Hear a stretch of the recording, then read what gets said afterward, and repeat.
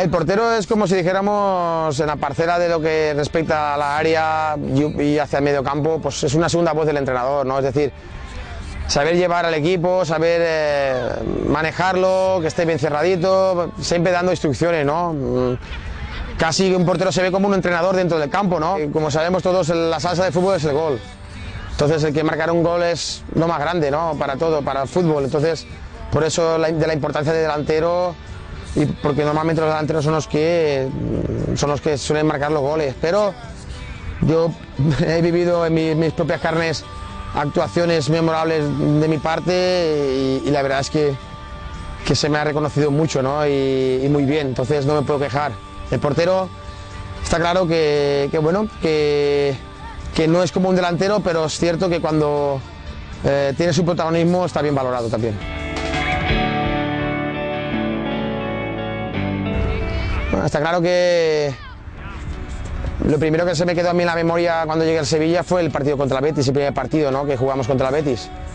Ese es un momento memorable para mí porque era muy importante ganarle al Betis, ¿no? que, después de haber eliminado, o sea, de haber quitado de la Liga Campeones el Betis al Sevilla ese año, pues bueno, era el siguiente partido que jugaba, el, partido inmediato, el derby inmediato, y bueno, la, afición del Sevilla tenía muchas ganas de ganarle al rival, al eterno rival, ¿no? Entonces, le ganamos con 9, ganamos 1-0, un poco agónico todo.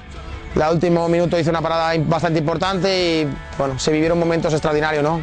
Ese momento fue un día especial, la afición me lo recuerda muy bien. Pero bueno, aparte hubieron muchos más, por ejemplo, pues bueno, la primera UEFA, la segunda UEFA también pues, por, el protagonismo que tuve, la Copa Rey, todos los títulos ganados, todos son también de, de una gran dimensión, ¿no? Y luego por la temporada, las dos temporadas que llevo, pues han sido dos temporadas también muy buenas, en las cuales me, siento orgulloso y espero mantener el nivel. La imagen de un club grande como es el Sevilla siempre tiene que ser brillante, tiene que ser espectacular, no puede haber ninguna mancha. ¿no? Entonces, la responsabilidad que tengo de, siempre no fallarles, pues siempre va a estar ahí, ¿no? Es decir, siempre tengo la responsabilidad de, de no tener un mal gesto nunca con los niños, de siempre estar a su lado, de comprenderles, de ayudarles y eso yo creo que crece mi imagen y crece la imagen del club. Sí me gustaría, la verdad es que también es una ilusión que todo portero quiere, quiere conseguir, es una meta también, es muy difícil, este año va a ser muy complicado de conseguirlo porque hemos recibido bastantes goles. Pero bueno, ahí está, ¿no? Yo tengo tres años más de contrato que en Sevilla, tengo tiempo por delante para poder conseguirlo, entonces seguro que cada temporada que empiece ese objetivo va a estar en mi mente y y vamos a ir a por él, ¿no? El recuerdo que yo tengo siempre en mi mente es Arconada. Arconada fue para mí el portero ideal, ¿no? Mm, si yo pudiera hacer que apareciera aquí Arconada y que yo, esconderme en una esquinita y ver que Arconada entrenan a los niños, incluso me pondría yo como un niño más, ¿no? A entrenar con él porque este hombre creo que ha sido el portero más grande de la historia del fútbol español y, y europeo, sino mundial.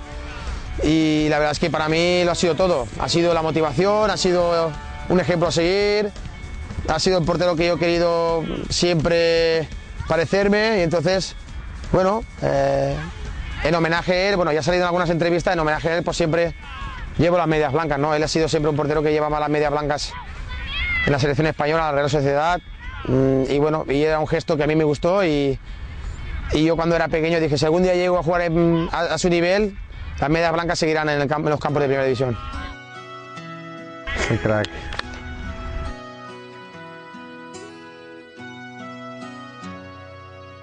Personalidad. Potencia de piernas. Capitán. Tiene todo. Si ves gestos, pues si ves un portero como él, pues bueno, hay algunas características que si te fijas, pues yo las he adquirido como él porque me he fijado con él, ¿no? ¿Ves? En este caso no se ven las medias de porque las tiene cortadas, pero bueno, si ves las mangas, cuando me ves jugar, cuando me ves jugar a mí, pues normalmente siempre estamos igual. Vamos, el color verde pues no me lo puedo poner aquí porque, porque sabéis que hay problemas, ¿no? Pero bueno, esta camiseta, esta camiseta no era la, típica de él. Tenía la azul, la roja y negra, la azul y negra. La verdad es que en él me he mirado, en el, espíritu de él ha sido que siempre a mí me ha, me ha motivado para ser lo que soy a día de hoy, ¿no?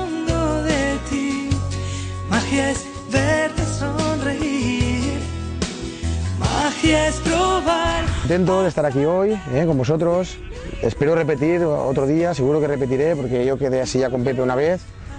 Le comenté que, bueno, que me gustaría pues, venir algunas tardes con él, porque bueno, tengo un niño pequeño también que, Jorge, que bueno, eh, está más verde que vosotros, eh, está, no, no, no está, no está tan a nivel que estáis vosotros. Entonces hay fases, ¿eh? el portero tiene fases. La fase vuestra ahora es una fase de trabajar, de primordial, primordial que todo, estudiar, estudiar, el tema, vamos a cambiar de tercio porque primero que todo yo le doy mucha importancia al, estudio del colegio, a, a saber que bueno, el tema del fútbol es muy bonito, practicarlo, ver la situación en la que estoy yo ahora, por decir, bueno, me gustaría ver, verme algún día donde estás tú, ¿no? Ahí en el Sevilla, en, mi equipo, en el equipo que llevo en el corazón, mis colores. Pero para llegar ahí hay que trabajar muchísimo, pero tenemos que ser conscientes que no todo el mundo llega. Tenemos el privilegio de los porteros, tener un entrenador de porteros para nosotros. Mira si hay jugadores ahí. Mira si hay jugadores. ¿Cuántos entrenadores tienen? ¿Y cuántos, y cuántos, cuántos son? ¿Por cada equipo cuántos sois vosotros? No, digo, de porteros cuántos por, por equipo? ¿Uno o dos por equipo? Dos, equipos, dos por lo menos en cada equipo. Vale, entonces dos. Aquí somos 12, 12 para Pepe.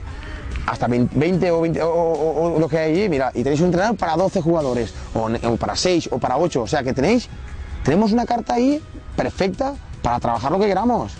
Para, para, para concentrarnos y trabajarlo bien. Y, y un entrenador para nosotros es un privilegio. Yo no lo he tenido, ¿eh? Yo, a vuestra edad, he un entrenador como Pep y yo no lo he tenido. Yo he trabajado en la calle, he trabajado en, en campos de tierra, he trabajado en campos de, de, piedrecitas, de gravilla, que se dice, condiciones muy malas.